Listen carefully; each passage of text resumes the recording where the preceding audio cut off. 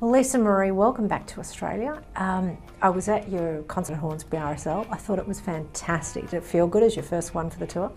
Thank you. Um, yes, it was. It was. It was good. It was. I, I was happy because we just came from South by Southwest, where we, we were pretty much throw and go, no sound check. It was pretty rugged, so it was nice to have a proper, you know, sound check, a proper venue to play at last night. What made you choose these more intimate venues?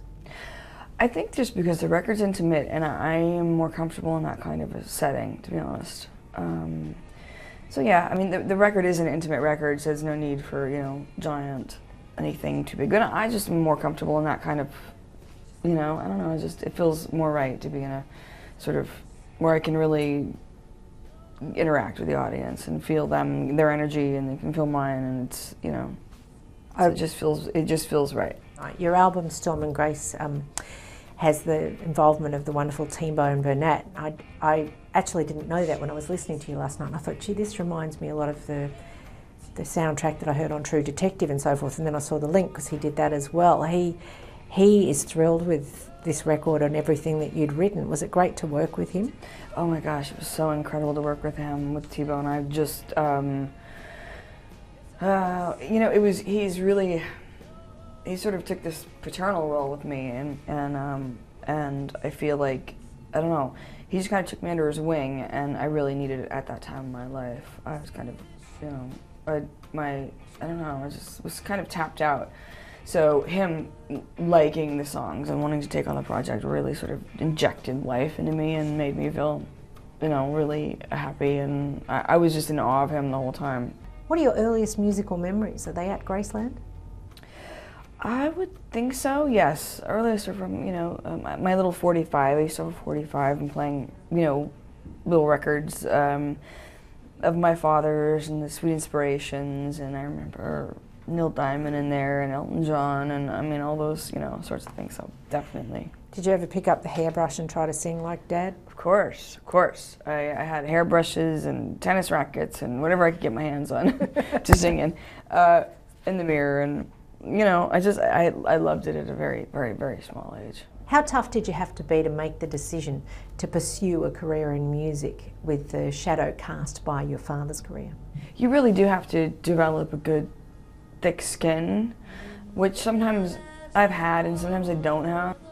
You're always going to get that, well, you would never, unless you were his daughter anyway, and blah, blah, blah, whatever. So it, it's really nice to be you know, have this particular, particularly this record be so critically acclaimed because it is acknowledging my work, and that's really what I'm in it for. And um, so that makes it all worth it, you know, in the end. And then it makes it worth it when I, when I do the meet and greets after, and I and I meet people that really love the music, and it's done, it's really sort of changed their lives or helped them in some way, and I get to hear that. It makes me really feel like I'm on the right path, doing the right thing, regardless of all that. What about your inner strength? Do you find there are times you just run away to hibernate with your family? Absolutely. I mean, that's kind of where England comes in, or, you know, I, it's nice to have a retreat somewhere you can run to. And I think that that's kind of the saving grace of, you know, anybody in this in this industry who wants that sort of thing, who, who doesn't want to live in the spotlight 24/7 because I wasn't really raised like that. That's kind of how it goes now in America, anyway.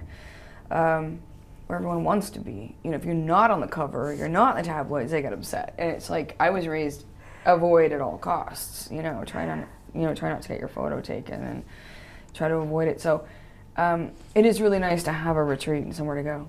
You're here with three of your four children, and your eldest daughter, Riley, is of course dating an Australian. So you're practically an in law of ours. yes, I guess so. She's, of course, an actress and a model. Were you concerned as a mum when she decided to pursue this kind of life in the public eye? You know, she's got such an amazing head on her shoulders that she's actually, you know, a real sort of rock for me, even.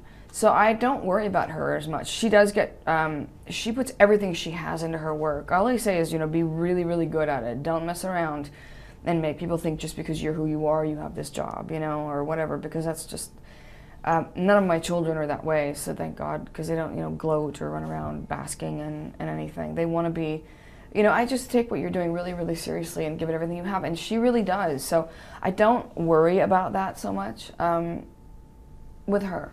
But it is what it is. So she, you know, we do have that, you know, where she'll call me and she's stressed out or something's happening, but regardless, I think she can handle it, really. Oh, that's fantastic. Thanks so much. Thank you. Thanks for having me.